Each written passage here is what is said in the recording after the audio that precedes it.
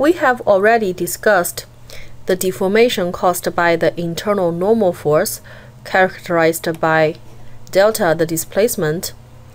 We also learned the deformation caused by the internal torsional moment, characterized by phi, angle of twist. But what about the deformation caused by the internal shear force and internal bending moment? For example, for this beam structure subjected to the external loadings, we have already learned how to determine its internal shear force diagram as well as its internal bending moment diagram. But how do we quantify the deformation of this beam? From experience, we know that this beam is probably going to deform this way. And this curve is known as the elastic curve, and it characterizes the deformation of this beam caused by the internal shear force and bending moment and in this video, we will learn how to determine the elastic curve. And since our discussion is based on the simplified theory of elasticity, we will limit our discussions with the following conditions that the beam has elastic behavior and the actual loading is insignificant when compared to the internal shear force and bending moment, and also the deformation is relatively small. First, we need to define deflection V, which is the vertical displacement of the centroid of each beam cross-section with respect to its original location. Since deflection V varies with location, we can plot the deflection as a function of location x. And the graph of the deflection function is the elastic curve. This graphing should remind you of the shear force diagram and bending moment diagram that we learned to construct before. Now the question is, how is the elastic curve related to the shear force diagram and bending moment diagram?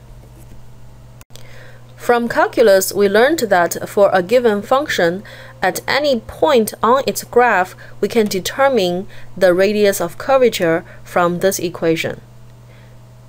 In this equation, Rho, the radius of curvature, could be positive or negative. It is positive when the curve is concave upwards and negative when the curve is concave downwards. And if you recall, when we were deriving the flexure formula, we came across this relation that epsilon maximum, the maximum normal strain caused by the bending moment, equals to c over rho. c is the maximum perpendicular distance from the neutral axis to the edge of this member, and rho is the radius of curvature at that location. And this piece right here is a small piece of the elastic curve.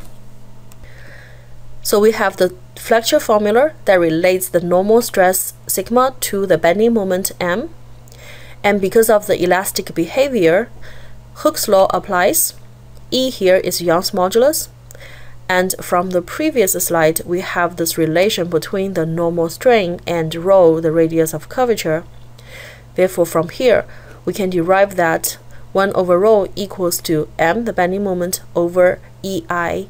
Once again, E is Young's modulus, and I is the area moment of inertia of the cross section.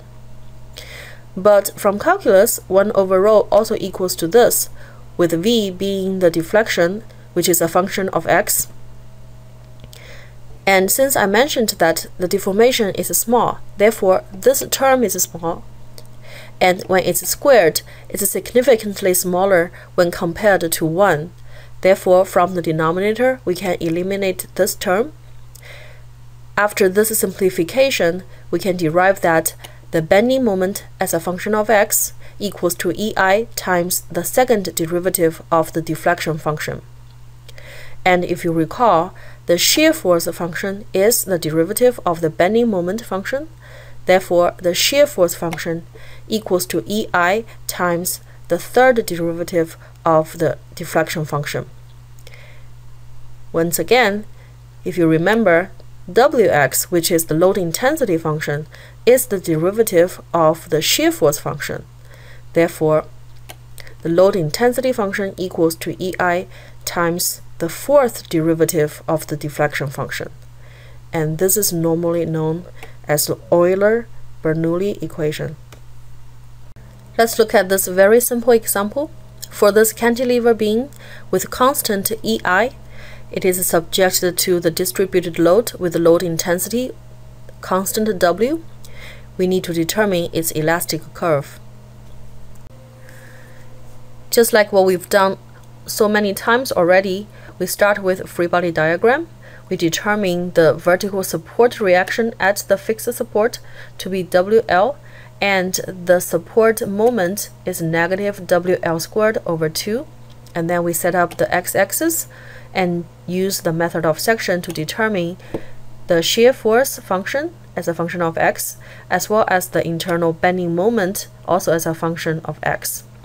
But we just learned that this bending moment function is ei times the second derivative of the deflection function vx. Therefore, ei times the first derivative of the deflection function equals to the integration of the bending moment function with respect to x. And the bending moment function is a polynomial function, so it's not that hard to integrate. Don't forget, you have to add this constant term. And then we integrate this function again and get ei times vx, the deflection function. Again, you need to add this constant term. This is what we've got so far, but you might ask, what are the two constants C1 and C2? To evaluate those, we need to apply the boundary conditions. Here at point A, we have a fixed support, which means that at this location, the member is not allowed to translate vertically or rotate. No translation indicates that deflection at this point when x equals to 0 is also 0. Therefore, from here we can solve for C2 to be 0. No rotation means that the slope of the elastic curve at this point must be 0. Therefore, EI times dVx dx must be 0, and from here we can solve for C1 to be 0.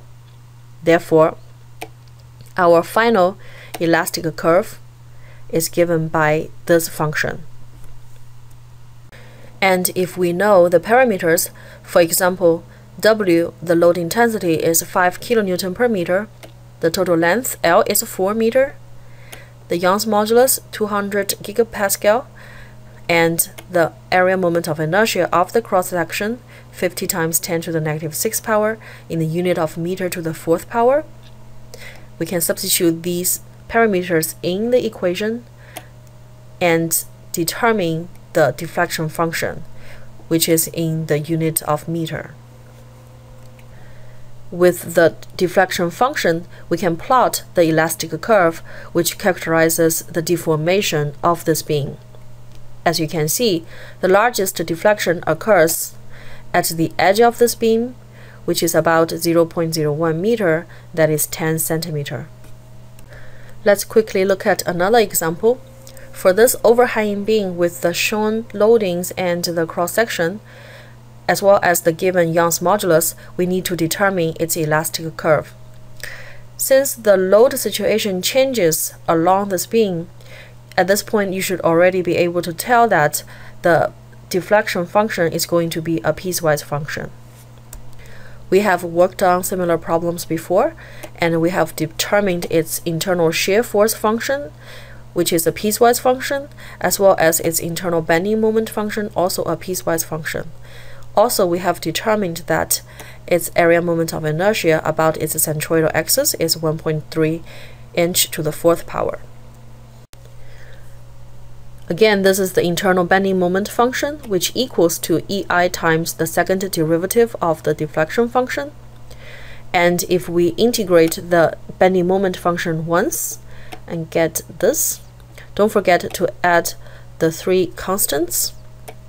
And then if we integrate this again, we get EI times Vx, the deflection function.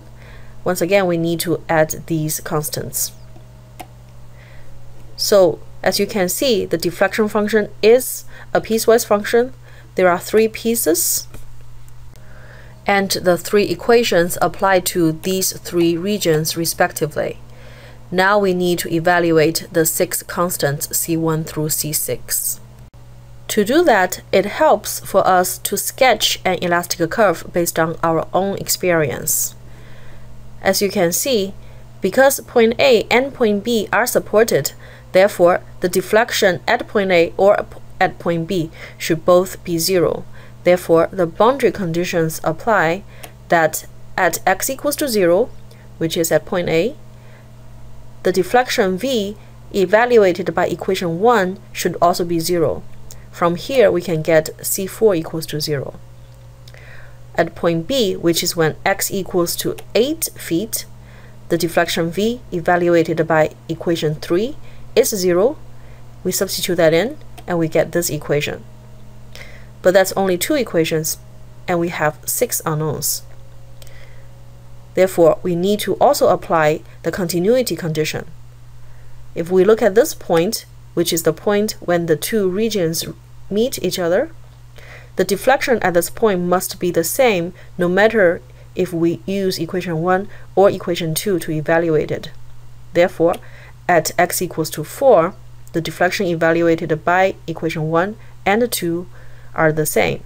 From here, we get this equation same thing with this point.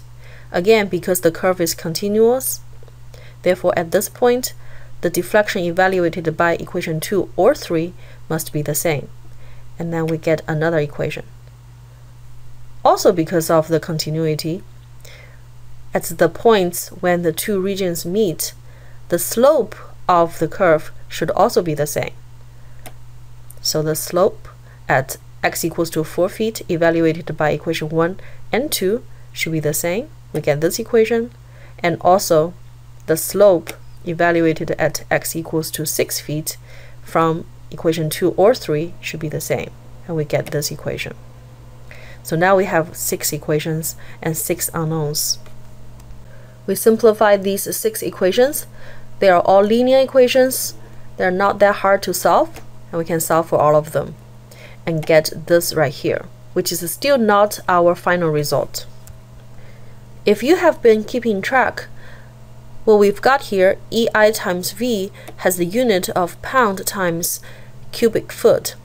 Therefore, let's first do unit conversion, and then divided by EI, this is the Young's modulus, and this is I, the area moment of inertia. And with that done, we finally get our final answer. This is the deflection function, and its graph is the elastic curve. And the deflection calculated from this function has the unit of inch. With this function, we can evaluate the deflection at any location on the beam. For example, if we are interested to know what is the deflection at when x equals to 2 feet, we need to evaluate that using the first equation in this piecewise function. Substitute in x equals to 2, and we get negative 0.127 inch. Negative sign indicates that it is below the original location.